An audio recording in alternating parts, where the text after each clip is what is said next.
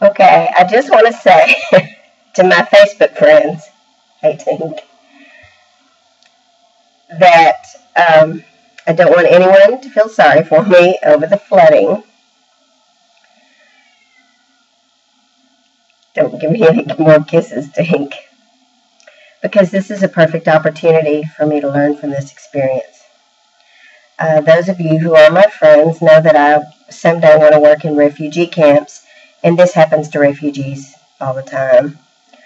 Um, how I deal with what happened um, is a learning experience in itself, and hopefully I can use that information to help someone else who goes through this.